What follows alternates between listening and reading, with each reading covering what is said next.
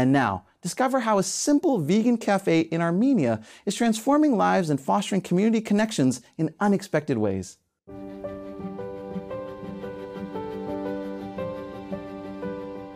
Narik regularly greeted her neighbor, Anahit, in the mornings on her way to work.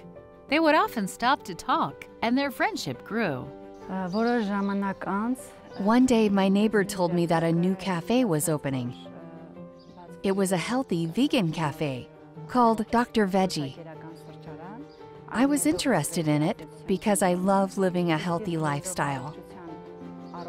I work at a bank and it was near the cafe. So every day I had lunch there.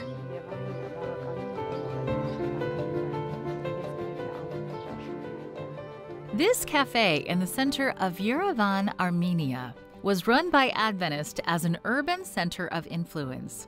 Narik knew that her neighbor was a Seventh day Adventist, but she didn't really understand what that meant. Narik believed in Jesus, but had no interest in attending any churches.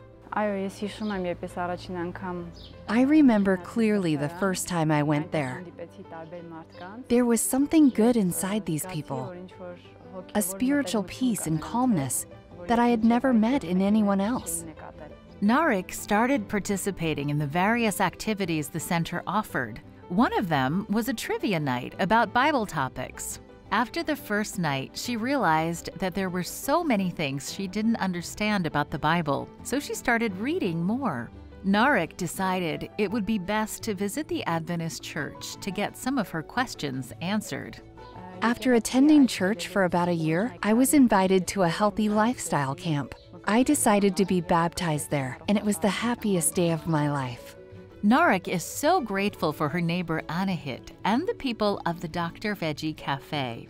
Urban centers of influence, such as Dr. Veggie, can be a crucial bridge between the Adventist Church and its community.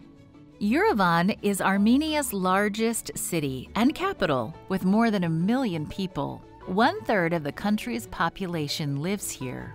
As cities like Yerevan increasingly become one of the biggest mission challenges, Adventists have the opportunity to create meaningful connections with those around them.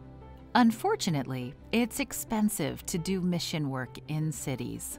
The Dr. Veggie Cafe had to close its doors suddenly due to the high cost of rent.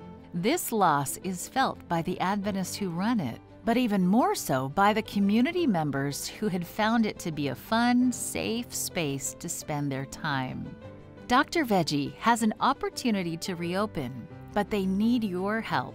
This quarter, a portion of your 13 Sabbath offering will help reestablish Dr. Veggie in a new, improved building. This will give them the opportunity to own the space and provide stability so they can focus on building relationships such as the one they built with Narik. Please pray for the future of Dr. Veggie and the Adventists in Yerevan who have a passion for mission. Through 13th Sabbath offering, we support incredible projects around the world.